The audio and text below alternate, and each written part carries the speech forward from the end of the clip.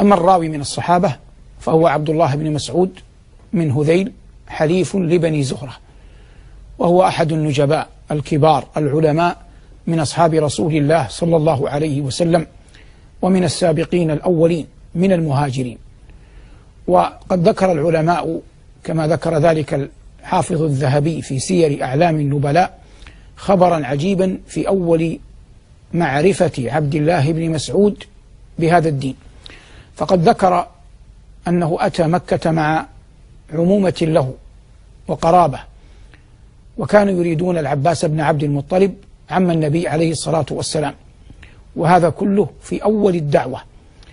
فحتى انتهوا إلى العباس عند زمزم فلما جلس مع أعمامه بجوار العباس قال عبد الله فأقبل رجل أبيض تعلوه حمرة براق الثنايا أقنى أشم وذكر أوصافا حسنة. قال ومعه غلام قد راهق وامرأة قد سترت جل محاسنها. فاستلموا الركن ثم طافوا بالبيت سبعة ثم كبروا فصلوا. وهذا الشأن لم يكن معهودا في قريش قبل مما جعل الأعمام يسألون الف... يسألون العباس بن عبد المطلب يا. يا أبا الفضل ما هذا الدين الذي ظهر فيكم؟ فأخبرهم العباس أن هذا ابن أخي محمد بن عبد الله والغلام الذي معه علي بن أبي طالب والمرأة زوجته خديجة. ثم قال العباس لهم ولا نعلم أحدا غير هؤلاء الثلاثة يعبدون الله بهذا الدين. هذا أول ما وقع إن صحت الرواية في خبر عبد الله بن مسعود. ثم أسلم رضي الله عنه وأرضاه. وكان يعد نفسه سادس ستة.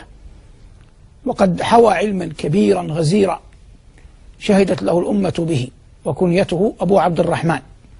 وقد كان يأخذ القرآن رطبا من في رسول الله صلى الله عليه وسلم كما أنه يقال له ابن أم عبد.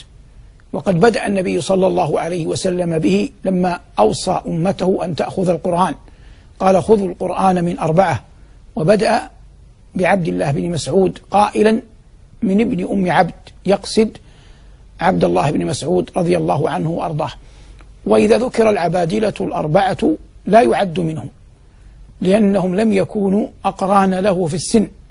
عبد الله بن عمر وعبد الله بن عمرو بن العاص وعبد الله بن الزبير وعبد الله بن عباس رضي الله تعالى عنهما ابن عباس وابن الزبير وابن عمر وابن عمرو. بن العاص. هؤلاء الأربعة العبادلة. وأما هو وإن كان اسمه عبد الله إلا أنه ليس معدودا فيه لتقدمه عنهم في السن. وهو الذي صعد ذات يوم شجرة فتعجب الصحابة من دقة ساقيه وربما تبسم بعضهم وضحك. فقال النبي عليه الصلاة والسلام أتعجبون من دقة ساقيه؟ لهما في الميزان أثقل من جبل أحد.